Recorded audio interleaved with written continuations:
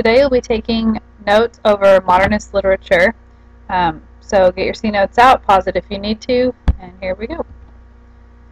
The time period for modernist literature is approximately 1890 to 1950.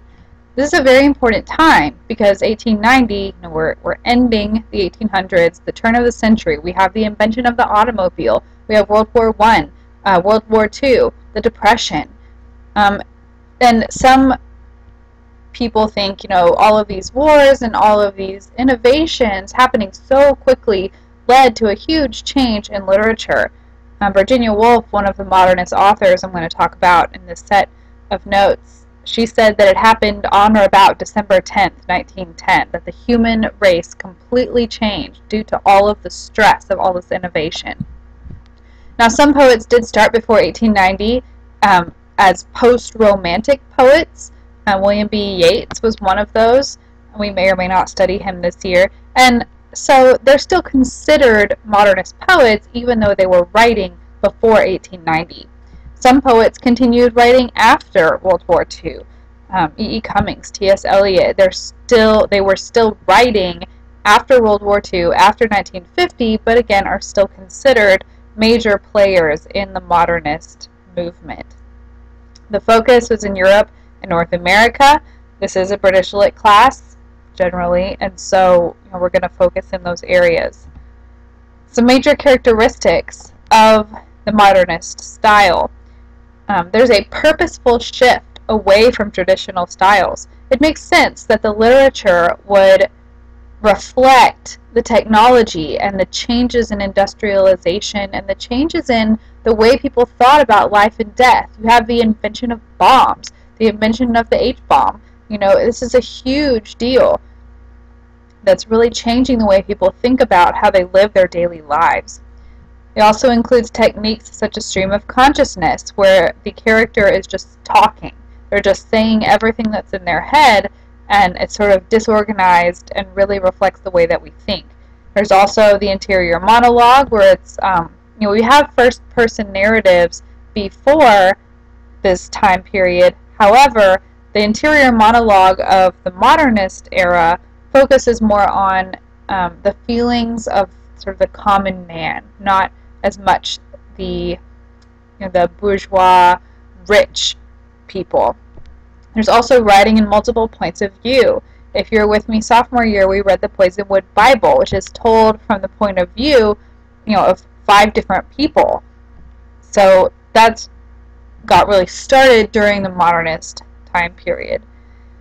And this modern literature reflected the need for greater um, psychological realism, especially during the world wars. Literature is how people cope with life. And so, um, this modernist literature reflected this anxiety inside of the common man um, as we sort of had no control over the world wars and over the decisions that the government was making. Um, T.S. Eliot said that modernist literature is a way of controlling, of ordering, of giving a shape and a significance to the immense panorama of futility and anarchy, which is contemporary history. Instead of narrative method, we may now use the mythical method. It is, I seriously believe, a step toward making the modern world possible for art. Okay, so what does that even mean? What it means is um, this literature of the modernist period gives order to this ever-changing world at the start of the 20th century, helps us cope with the invention of the automobile. Um, in The Great Gatsby, where, um, you know, I guess Myrtle, it's been a long time, someone's killed in a car accident. That never happened before 1904. Never in the history of the world had anyone ever been killed in a car accident before 1904 and just and it's really not that long ago. It acknowledges that the world politics are not working. The futility and anarchy, Eliot says that um, you know we have no hope, kind of, of getting ourselves out of this mess we've gotten ourselves into with the world wars, the crash of the stock market, the Great Depression. Um, all of these things are really hurting us, and the politics are not working. It also criticizes the ubiquity of Western culture and acknowledges its decay and fragmentation as anarchy and war changed the world at that time. Um, when I say the ubiquity of Western culture, ubiquity means um, universalness. Uh, and so Western culture had become, um, to the West, the way the world works. You know, they weren't thinking about third world countries. They were thinking about, well, this is how we do it, so this is how everyone has to do it. With t- you know TVs later on, motor cars, um, wealth, and credit, and just uh, the materialism of the Western culture and the decay and fragmentation that it brought to the soul of mankind. This materialism, um, as people fought against political power uh, in Russia and elsewhere, and then um, you know. It, Eliot in the, this previous slide here says that make, they're making the modern world possible for art. In order to cope with the modern world, they had to change the way art addressed the needs of the people. Um, some major characteristics that you'll see in modernist literature, they often will use words as parts of speech that they aren't, such as nouns are used as adjectives, verbs as nouns, etc. Um, when we study E. E. Cummings, you'll see that really heavily.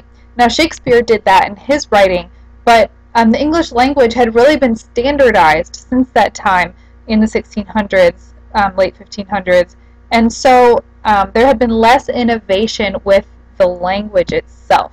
But modernist poets wanted to change that. They reworked traditional forms. They used the sonnet we looked at Design by Robert Frost, where he changed the traditional form of the sonnet into something completely different. They used disjointed structure to reflect the dysfunction of Western society.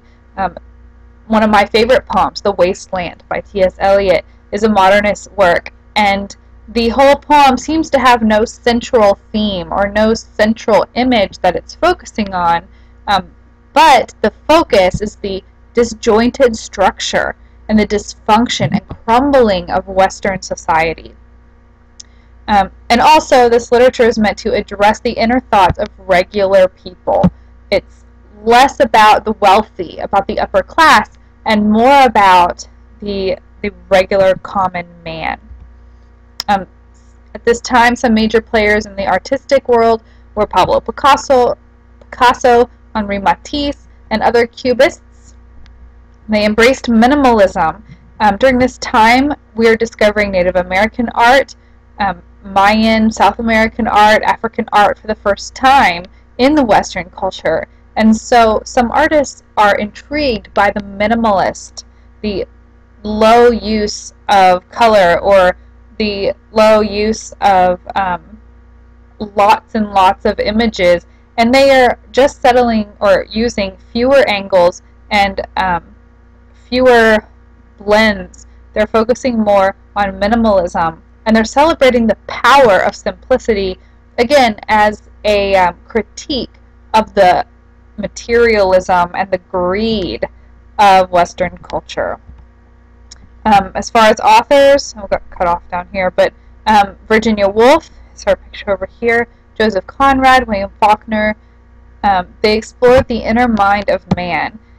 And um, can't really see that there, but they separated from the idea that the authors were only supposed to write about the wealthy. That's what it says at the bottom there, wealthy. Um, that authors and artists were only for the rich. No. Authors and artists are for the common man. Okay. As for poets, um, the major players, and we're going to study and have studied some of these, um, Ezra Pound, E. E. Cummings, T.S. Eliot, H.D., uh, abbreviated her name, Hilda Doolittle, who that is, Robert Frost, and many, many more. They're critics of Western culture. They used words and traditional forms in new ways, and we've already seen that with Design, the spider flower moth poem by Robert Frost. Um, and I have pictured for you here um, this poem called Buffalo Bill's by E. E. Cummings. And you can see the way um, he structured it is different than the sonnet, where you would have a box, a block of text. Um, and look here, one, two, three, four, five pigeons just like that. He mushes the words together. Okay. Um, blue-eyed. He doesn't capitalize the letter I. Um, and he makes that borax water smooth. Like, what, what is that? So, um, poets are really being innovative at this time and changing up the way things are done. And this is just one example here of E.E. E. Cummings' work, and I love him. I think he's really great, and we're going to look at some of his poems this week. Alright, hope you enjoyed your presentation. My